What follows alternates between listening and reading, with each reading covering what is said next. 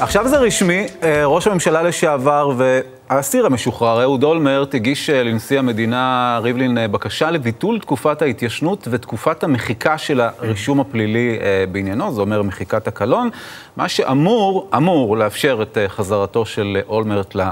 החיים הפוליטיים. עורך הדין אה, משה שוחטמן, שלום, לילה טוב לך. שלום. עורך הדין אה, מומחה אה, למשפט פלילי. קודם כל, מדובר בעצם בבקשת חנינה לכל דבר, נכון? זה נופל תחת ההגדרה הזאת. כן, לחלוטין. גם בקשת חנינה בסגנון הזה, זאת אומרת, לבטל קלון, זה חנינה לכל דבר ועניין.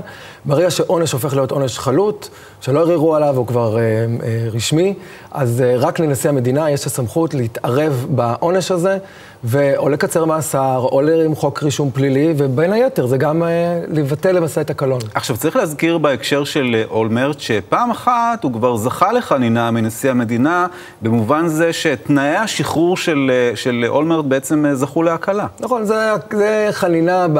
Um, ב-level הנמוך ביותר שלה. Mm-hmm. לא מדובר כאן בהתערבות במאסר עצמו, אולמרט ריצה את, אה, את המאסר את כל שני השליש שלו, ועדת השחרורים היא זו ששחררה אותו בשחרור מוקדם, ולמעשה אחר כך הנשיא נתן לו עוד איזושהי הקלה מסוימת בכך שלא יצטרך לעמוד בתנאי השחרור, שהם חתימות במשטרה ותנאים כאלה ואחרים שמוטלים על אסירים רגילים. אז למעשה הוא ויתר לו על הדבר הזה, אבל לא מדובר כאן בחנינה מהותית, במובן הזה שהייתה פה התערבות בתוך העונש עצמו. וזה המשמעות. המשמעות של, של מהלך כזה, של, של ביטול אה, קלון, זה התערבות בעונש עצמו. בהחלט. אה, אה, מהלך של ביטול הקלון הוא למעשה התערבות בענישה, כי חלק מהעונש שנגזר על ראש הממשלה לשעבר הוא גם הקלון שמוטל עליו. הקלון הזה הוא משהו מהותי, זה לא איזה פרט טכני שאפשר לוותר עליו בקלות, צריך להביא נימוקים ממשיים מדוע לבטל את הקלון הזה.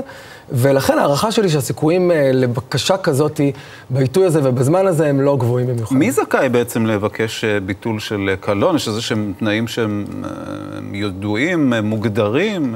הנאשם, במקרה גם העבריין, יש כן. את פרשת 300 הידועה, שכבר בן אדם שמוגדר כעבריין, כבר יש סמכות לנשיא המדינה לתת לחנינה צופה פני עתיד. Mm-hmm. במקרה, במקרה של ראש הממשלה לשעבר, אז הוא כבר ריצה את העונש שלו, אבל פה לא הסתיים הסיפור, כי הקלון הוא בנוי כחלק מהעונש, ולכן על מנת לבטל את הקלון, נשיא המדינה צריך לנמק. כלומר, אותו, אותו איסור שמונע בין היתר חזרה כן. לחיים הפוליטיים, זה מה שבעצם כן, מאפשר למעשה, כאן... אין, É, אין לאף אסיר אה, שום מגבלה מעבר, במידה ויש קלון, מעבר לנושא הקלון, שזה בעצם להתמנות לתפקיד ציבורי נוסף על התפקיד אה, שכבר אה, הוא ביצע.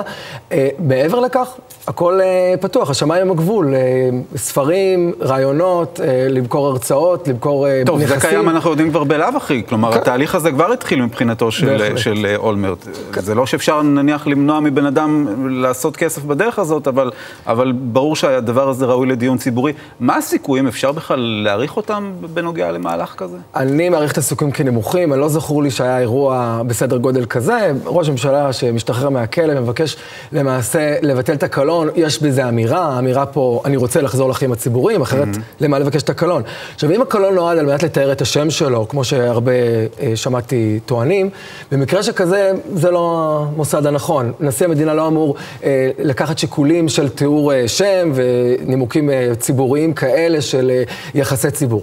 לראש, לנשיא המדינה יש הסמכות לבדוק האם עומדים אה, הנאשמים בקריטריונים של חנינה. והקריטריונים הם לא רלוונטיים לתיאור השם, הקריטריונים mm-hmm. צריכים להיות או שהיה באמת איזשהו פגם מאוד חמור בהליך, שמצדיק התערבות של הנשיא, או נימוקים אחרים של נימוקים אישיים, אה, מצב רפואי, מצב אה, נפשי וכדומה. מה שלא נראה, על פניו לפחות, שמתקיים ב, באירוע הזה. שאגב, צריך להזכיר שברעיונות אה, שאולמרט נתן לקראת צאת ספרו, הוא רמז, שלא לומר הביע, ביקורת מאוד מאוד חריפה על, על הרשעתו, כך שאם יצטרף לזה עכשיו, גם ביטול של הקלון, יש בכך בעיה ציבורית ש... מה נאמר, אנחנו לא מקנאים בנשיא ריבלין שצריך להחליט בסוגיה הזאת. לגמרי, לכן כשקשה להחליט, הנטייה היא בדרך כלל להחליט שלא. עורך הדין משה שוחטמן, תודה רבה לך, לילה טוב.